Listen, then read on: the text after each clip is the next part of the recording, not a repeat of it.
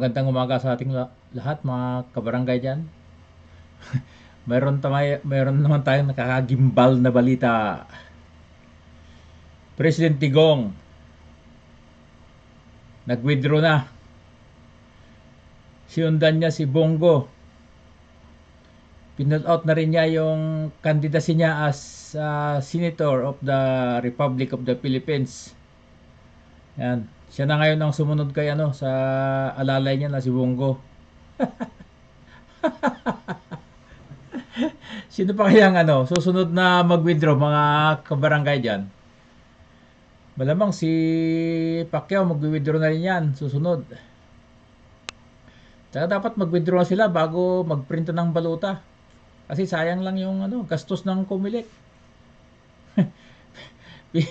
Pira din yan ng taong bayan, mga mga kabarangay dyan, di ba? Yan, magandang balita yan. So, kahit sino nang i-endorse ni ko ngayon, ni Pangulo, okay na lang. Pabayaan lang natin siyang magpahinga.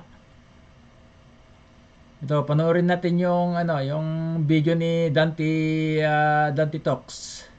Pero bagong lahat, uh, mga kabarangay dyan, salamat sa pag-subscribe nyo, pag-share, at saka pag-comment sa video ito para dumami-dami naman po ang aking subscribers at napakakunting-kunti pa lang. Uh, salamat po ng marami. God bless us. Stay safe and healthy always. Panoorin natin yung video. Salamat. Hello po mga kababayan, kumusta po kayo? Breaking news po ngayon after na mag-withdraw sa officially sa pagkandidato bilang uh, Pangulo ni Senator Bungo uh, this afternoon mga kababayan, sinundan ng pag-withdraw sa pagkasenador, uh, pagkandidato sa pagkasenador mga kababayan ni President uh, uh, Rodrigo Duterte. Ito ngayon ang breaking news. Uh, kagulo na naman yung mga taga-media. Galing pa itong balita sa Philippine Daily Inquirer as quoted uh, Comelec ano spokesperson James Jimenez nag-post mga kababayan kanina si Jimenez sa kanyang Twitter account. Basahin ko po sa inyo. President Rodrigo Duterte uh, withdrew his uh, certificate of candidacy for senator in the 2022 polls. Commission on Election spokesperson James Jimenez said on Tuesday, the president has filed his withdrawal from the senatorial elections. Sabi po ni Jimenez. Ah, pinicturan niya, pinost mga kababayan sa kanyang Twitter account. Yan po. Uh, sabi rito sa uh, balita, earlier on the same day, his former aide and Senator uh, Bongo officially pulled out his candidacy from the presidential race. Alam na natin kung bakit nag-withdraw si Bongo. Sabi niya, ayaw ng kanyang pamilya at hindi rin siya handa na tumakbo. As of writing, sabi rito, mga kababayan, the palace has not yet released a statement regarding the presidential withdrawal. Hindi pa rin nag-appear, mga kababayan, o nagpa-interview si eh, President Digong kung bakit po siya nag-withdraw sa sa pagkandidato. Now, ano niya Mr. Maravillas ang masasabi mo niyan? Iwan ko kung hindi kayo magagalit sa akin, pero sabihin ko pa rin kahit magalit kayo, yung mga supporters ng ating Pangulo, sasabihin ko pa rin. Uh, you know, sabi ko nga, pinaglaruan nila yung yung posisyon, yung eleksyon. Imagine that. Una tumakbo for Vice President, si Bongo. Tapos tumakbo mga kababayan, si uh, Bato for President. Then nag-withdraw mga kababayan si Bato with Bongo nag-withdraw man sa pagka Vice President para mag-file sa pagka Presidente. Alam na natin yung kwentong yon. Rine-refresh ko lang po yung inyong isipan. Then biglang yung ating Pangulo, nag-file naman sa pagkasenador. In-endorse niya mga kababayan afterwards si Bongo as his uh, successor. Then afterwards, gulong-gulo na yung isipan ni Bongo kasi hindi pa pala siya handa, kundi ang nagsabi lang sa kanya yung partido. Wala niya kung magagawa itong gusto ng partido. Ano sabi natin? Itong laro nila, mga kababayan, kasi ang gusto nila man talaga na patakbuhin si Sara.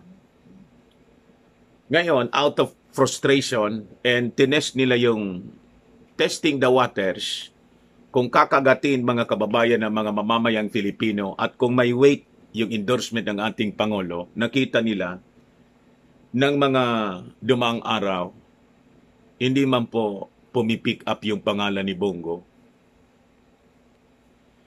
And then so, si Bongo, mga kababayan, nagdesisyon na tumambling na lang, lumipad na lang siya. Pero may iniintay siguro na kung anong milagro yung inihintay niya, mga kababayan, hindi man dumating, mali yung dumating na balita. Hindi yung paboran yung petitions to disqualify ng Commission on Elections, yung mga petitioners, yung narinig na balita kanina, ginang ng COMELEC yung series of uh, petitions filed to cancel the uh, uh, COC or disqualify mga kababayan Bongbong Marcos. Ito hula ko man lang po based sa aking analysis. This could be the reason why finally nagdesisyon na si si Bongo. Wala man na niya tayong ano pa man na niya. Wala man mangyayari. Pag tinuloy ko ito ng kandidatura ko, magagastusan lang kami. And possibly mga kababayan, pati yung mga supporters niyang mga, siyempre may mga negosyanteng susupport, just like yung nauna. Possibly mga kababayan, nagbarak out na sila.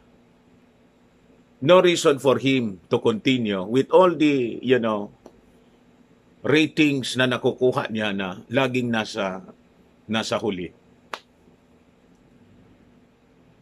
Kahit sino man. Wala niya. Laging landslide si Bongbong Marcos. Yung pumapangalawa niya. Hindi nga magkalahati. Ang pumapangalawa, hindi man siya. Si Lomi. Pangatlo si Yormi. Laging nandun sila sa huli. Sa street survey, most of the time, zero. So finally, mga kababayan, nagdesisyon sila na wag na lang niya. It is an exercise in futility, mga kababayan. Tama yung analysis natin? Then, as Bongo uh, finally uh, back up, uh, back up, back out, back up man sa akin. back out sa officially back out sa pagkandidato pagka-presidente. Then, naisip ng Pangulo, ano pa man niya kandidato akong senador? Unang-una, parang totoo niya yung analysis ng taga Albay. na yung mga uh, bumoto sa akin, mga Marcos loyalist, wala man talagang DDS. Kung may DDS, nandun sa Davao yon. Yung mga diehard sa kanya for many, many years. But outside Davao, Marcos loyalist niya yung nagpa panalo sa akin. And uh, lalong nakakahiyaan niya kung tumakbo akong senador, nanalo akong presidente landslide, tumakbo ako ngayon senador, matatalo ako.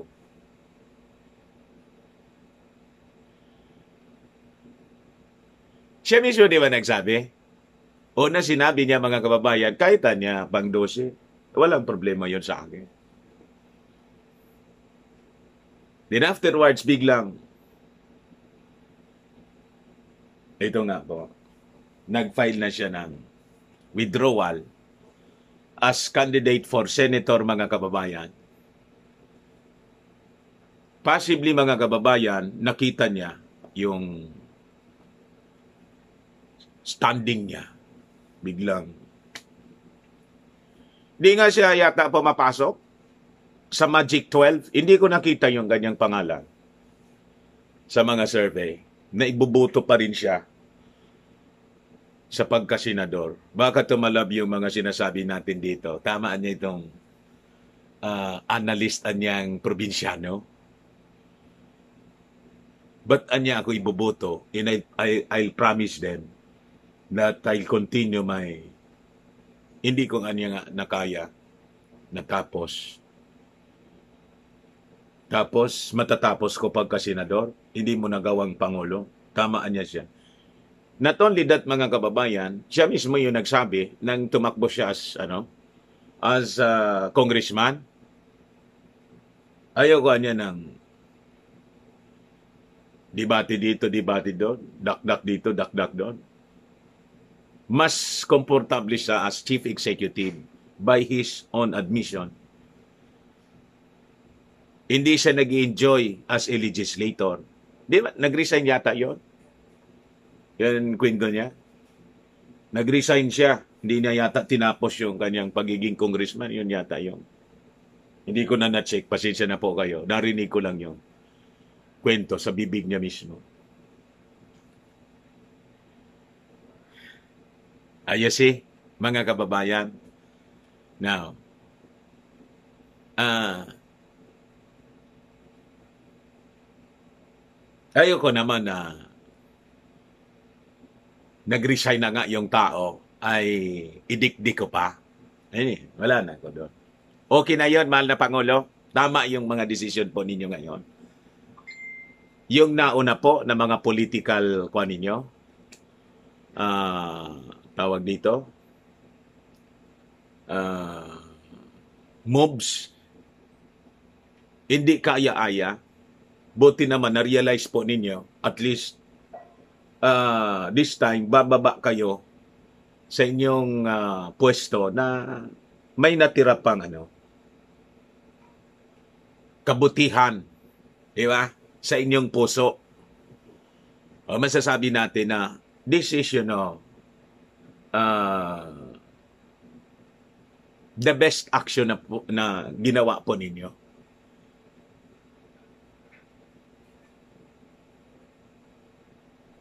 just ano, ano, uh, give chance, ika nga. Give chance to others. Di ba? Kasi tama yung sinasabi natin dito kahit hindi kayo mag-agree sa akin, hindi po ninyo pwedeng gawin yung ginagawa ninyo dyan sa Davao. Na sa inyo na lang umiikot. Di ba? Now you ano, you realize na iba pala yung nasyonal. Ayos mga kababayan, ibang-iba. So at least ngayon, hindi kayo hindi iisipin ng mga mamamayang Filipino na itong mga Duterte talagang mga gani dito sa posisyon. Gusto sila-sila na lang, umiikot sa kanila. Although, nag-attempt po kayo na gawin yon. But uh, as you realize, realize it today, adi okay na po sa amin yun. Ayos. Ayos na tayo. Hindi na hindi ka na namin aawayin. Uh, magtapos patapusin na lang namin yung kwan mo.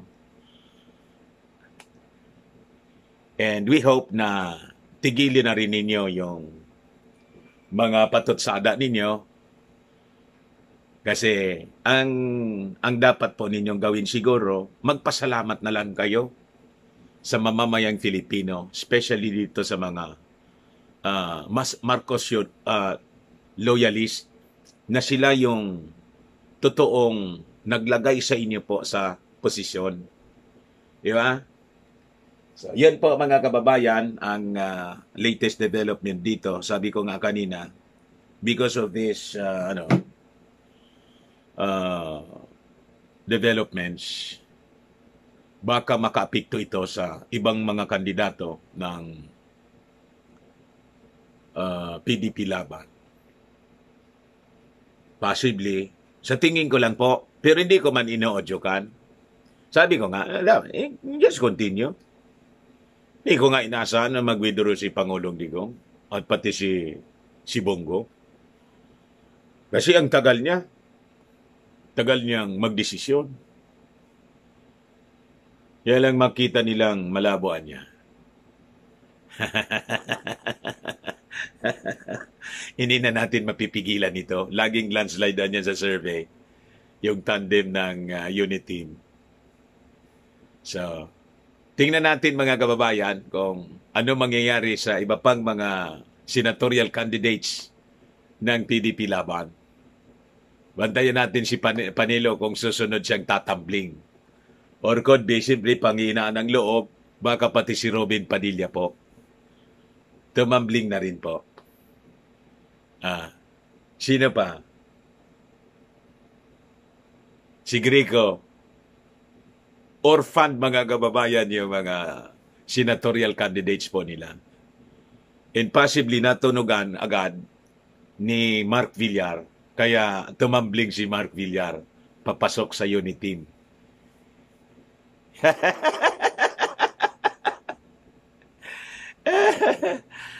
Sabi ko sa inyo. Now, this is a great lesson mga kababayan. Huwag kasi kayong ano, ah, laro ng laro. Huwag ninyong paglaruan yung damdamin ng mga mamamayang Filipino at huwag din ninyong paglaruan yung Commission on Elections. Pa-file, we withdraw. Pa-file sa ibang posisyon, we withdraw naman. File uli sa first time in history mga kababayan sa national elections, presidential, senatorial, kung ano-ano. Di ba? Nakakabad trip